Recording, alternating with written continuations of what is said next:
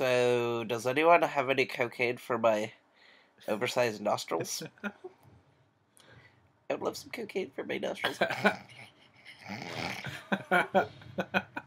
Somebody put some cocaine in my nostrils. Uh, right now.